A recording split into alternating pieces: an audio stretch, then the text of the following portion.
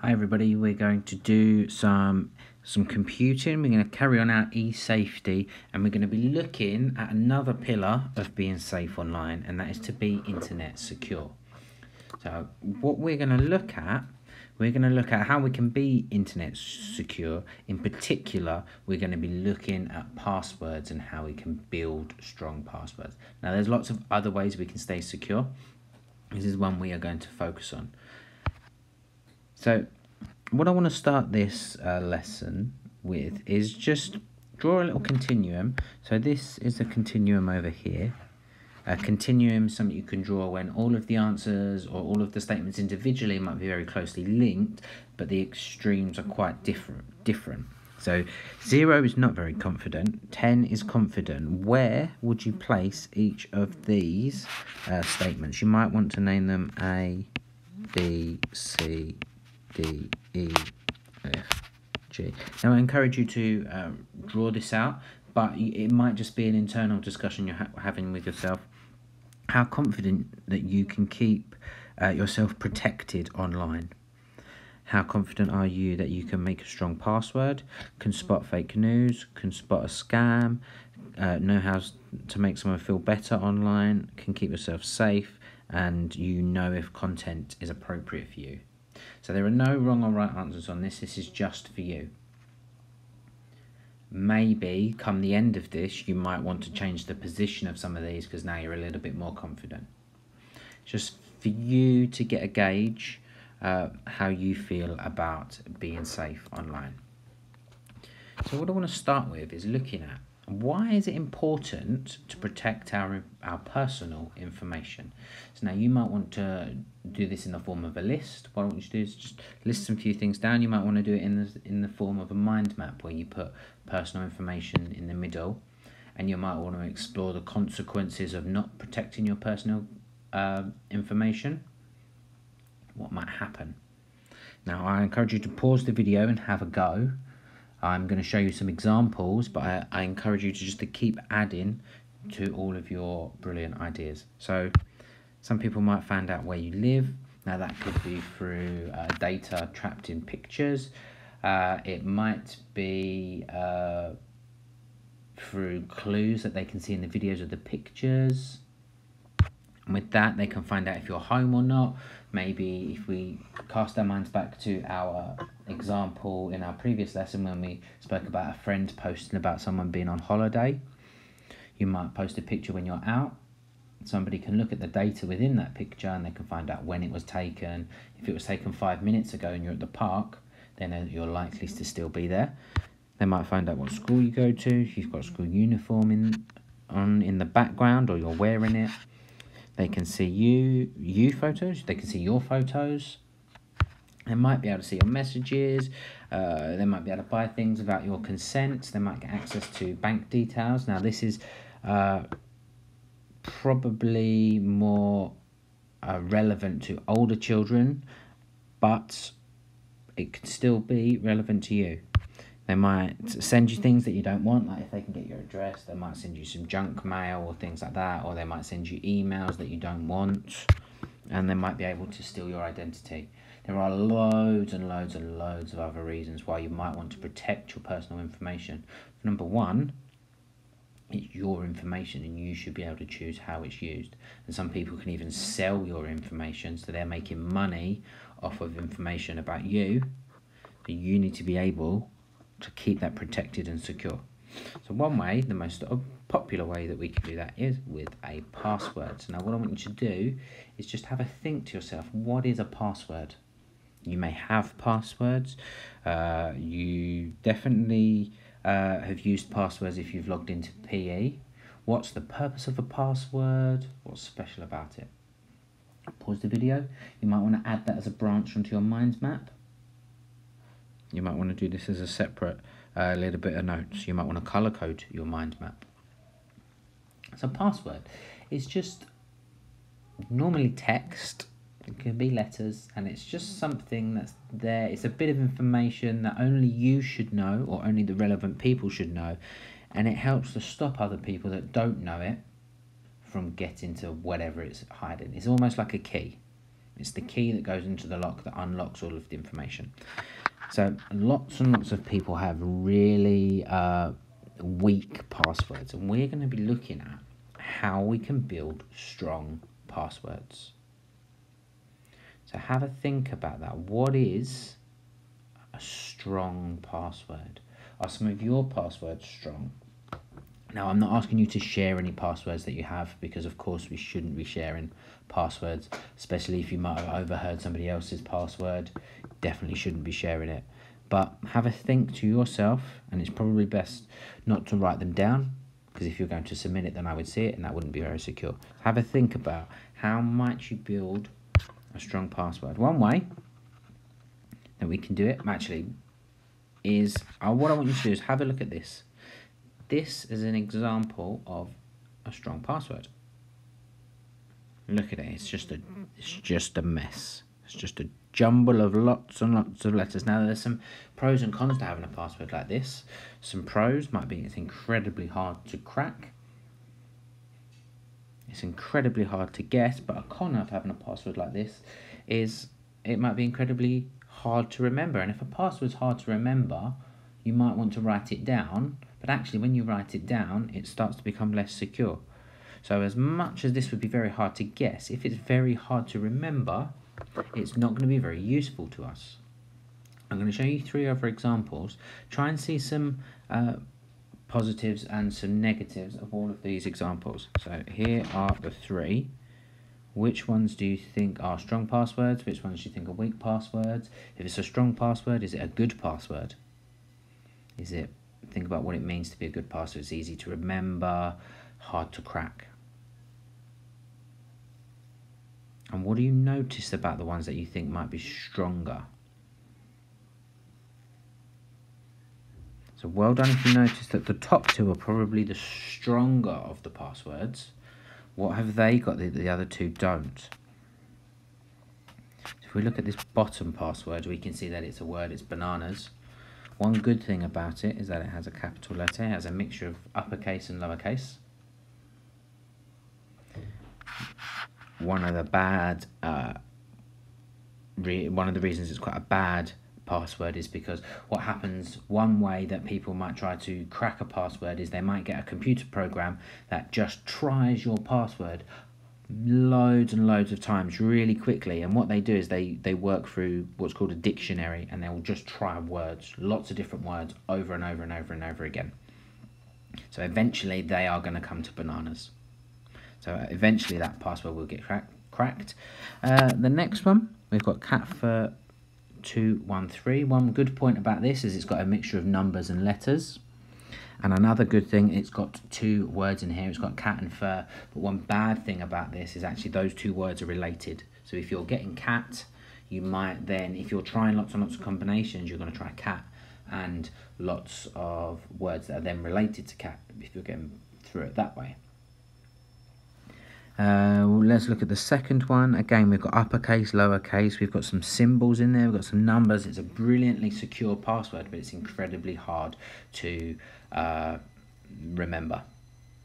Now we're going to look at how we can generate passwords like the one and the two and how we can and uh, remember them later on. So let's have a look now. Can we create some rules for our passwords? Is there some things that we can do in order to make sure our password is strong? So one thing you can do, you can use what's called a password generator and you can do this online and they will uh, create you passwords just like this. They use a string of letters and you, you can set how many you think that they should have.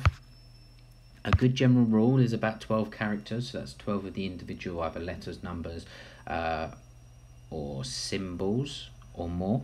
And generally when you use a generator you can choose what you want it to include. You want to include capital letters, uh, lowercase letters and the amount of different characters in there. Another way you can do is what's called a passphrase rather than a password. Now I'm going to show you a passphrase I went to Disneyland when I was four years old and it made me happy. And what you can do with that, that is a phrase that you can remember because if that was somebody's password, they've probably been to Disneyland when they were four. What you can do from there, you can create something that looks like this. If we have a look, we've got the capital I. First went to Disneyland when I was eight years and I, oh sorry, and it made me happy. Got a J there, probably should be. It might be jolly. They've chosen to do that. So they've created one of those really obscure looking passwords with a and they've used a passphrase for it. Let's have a look at another example of a passphrase. My friend Matt ate six donuts at the bakery cafe and it cost him £10. Let's have a look. Maybe you want to have a go. Pause the video and try see what is this password? What might that look like? Let's have a look. Here we go. My friend Matt ate six donuts at the bakery cafe and it cost him £10. So that's uh, a clever way. It's a little bit, it's not a mnemonic, but it's like a mnemonic. Remember when we used uh, we did that for the planets. My very easy method just speeds up naming planets. It, it's it's not the same, but it's very similar, and it's a good way that we can remember a long string of characters. Another way that we can, uh, another really good way actually to remember is just to use four random words.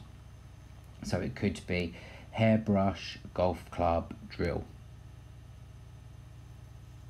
That's three. Deodorant. That's just me looking around my room, thinking of those three. Oh, those four. Hairbrush, golf club, drill, deodorant. And I would write them in. Now you can do some extra things, like you can separate the words with slashes or symbols, or change some of the I's to ones, some of the S's to five. Let's have a look. We've got jigsaw, quest, trait, fork, and in the middle of those we've got the some symbols. Now they can be quite difficult to remember, but they're a lot easier to remember than uh, some of our some of the ones we saw right at the beginning. But these are it, it's incredibly hard for a machine to crack passwords like this. Here we've got another one. We've got glimpse, stuff, prize, and koala. Remember, if we look here, we've we've changed that S to a dollar sign and an L to a, a 1 and we've got an exclamation point in there. And also another one is to use things like emoticons. So we might put a little smiley face a little strange face here or a little unusual face there in there somewhere. So they are some rules that we can use to generate some passwords. So what I want you to do is I want you just to have a go at this. I want you to see if you can generate uh, some passwords, some random passwords, using uh, some of these methods, some of the rules we've just discussed. So you might want to go back, look at these rules, and then try and have a go. So generate some passwords using the methods. And also, once you've done that, once you've had a go, it might be you might do five of them, you might do ten of them, you might even go back through some of your passwords that you might have for some of your accounts and think, can I create something a bit better? Can I create something a bit more secure? Once you've done that, have a go. Can you guess the two most common passwords? And they are very, very bad passwords to do. And if any of you have a password like this, I would suggest to you, I would strongly suggest you to change it. And I also want you to have a think about why are these passwords weak passwords? Why might they not be very good? So well done if you've generated some passwords. The two most common passwords is of course password was a classic when I was growing up and the internet was sort of just coming into its own. People starting to have passwords and they had the password password because they thought they were being clever, but everybody else had that same idea. And I'm not sure which one is one and two, but these are the top two. One, two, three, four, five, six. Those two are the most common passwords, and you can probably imagine like password one, password two. Uh, are also very high up there. So any combination that I know, I can it can be quite annoying, especially like with usernames. Like you type in new username, and you might have to put a number at the end because uh, somebody else has already taken it. Well, people do that with passwords. They think, oh, I've already got, I've already got a password. I'm just going to add one on the end to make it different. Doesn't quite work like that. And why are these weak passwords? Well, king cobra are two words that are related. There is an animal called a king cobra. So you might want to put king and screw. Those two. It might be uh, Hoover and king. Hoover and cobra. I don't know. Try and get the words not related or unrelated. Bank account. I mean, two words that are related, and probably if this is somebody's password, probably the for their bank account, and the other one eBay account. If someone's got that as their password, it's probably for their eBay account, and that's probably the first thing that the hackers might try to use. So well done if you got that. If you can, suggest some alternatives that they could use instead. So moving on, I want us to look at how we can keep our password safe. Because as I've said, we're generating some quite complicated strings of characters for our passwords and it's really important that we kept safe they're kept safe one way you can do it is what's called muscle memory i find that uh, when i'm typing my password i have what's called a muscle memory so actually my fingers when i'm typing just type and i don't even think about the letters that i'm pressing and when i actually sometimes when i stop to think because i've made a mistake I actually I can't remember what it is. I have to then uh, try and forget it and then just let my fingers type. That's called muscle memory, when you just remember how to do things. That's one way that you can do it. And I do have a few passwords that are like that, that actually when I log into that account, my fingers just do all the work for me and I don't actually realise what I'm doing. Another thing we can do is try as much as you can. I know it's more convenient, but try not to save your passwords. It's very easy to press the little checkbox, re remember me, but actually that gets stored. And in the next slides, we're going to have a look at finding some of that information that's stored on that computer that people could access. So don't save your passwords. As, as convenient as it might be, try not to press that remember me button. Now I've just said don't save your passwords, but there are some things where it is quite safe to remember your password, and that's called a password manager. And I use something like this. So I have um, most of my accounts are all incredibly strange passwords and it's going all the way back to the ones we did at the beginning that we said were incredibly strong but bad because we can't remember them. So what password, man password manager does is it finds and it links those really strange passwords with the account that they're meant to be. And I don't need to remember because I only I can remember one super secure password for my password manager and I let that do all of the work. So that's what I do. I have a really secure password that I remember, and all of my different passwords from all my different accounts are all saved in the password manager. And I would suggest you have different passwords to different accounts because it's very easy to get oh I don't I'm not going to remember my password. I'm just going to have the same one for all my accounts. But if that gets found all of your accounts go.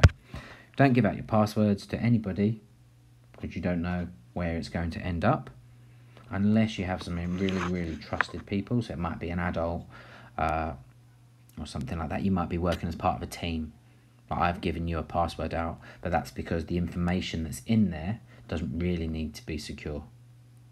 If it needs to be really secure, only people that you want to have it should have it. And we can also do what's called two-factor authentication. Some of you might have that on some of your devices. I have that on my password manager. Every time I log in on the computer, it pops up on my phone and asks me if I want to let that person do it.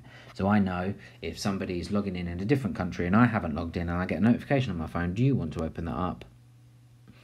Uh, I can say no. I got that the other day. Somebody logged into one of my accounts from the Philippines, and I have not been to, to the Philippines. So I was like, that's definitely not me. I might need to change that password, and I can press no, you can't have access. So two-factor authentication, and most devices will allow you to do that. So, if you want to, if you want to find out where all of your passwords are stored, you want to get rid of them, maybe you've saved them on your browser. If you've got an iPad, you can have a look through these. I'm not going to go through them, you can just go through them. Pause this. If you've got an Android tablet, you can go through there and see all of your passwords. And if you're using the Chrome web browser you can see all of your password there. If you use something different you can always go online and say see my saved passwords on whatever it is.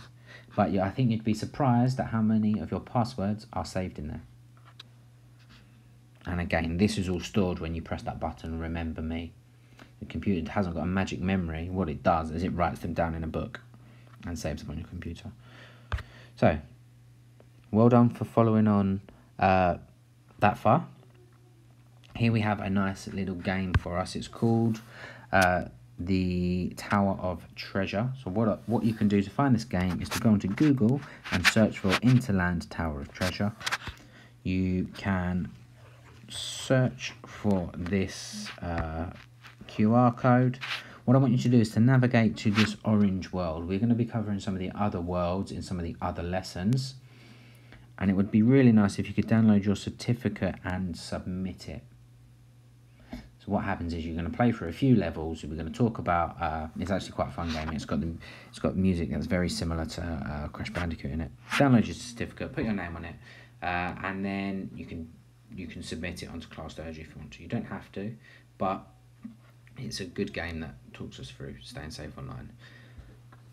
Well done. Remember stay safe online you're going to be spending the majority of your lives online or have some form of online presence. Keep it safe. Remember to be respectful. Think about your online persona. And think about keeping safe online. Well done.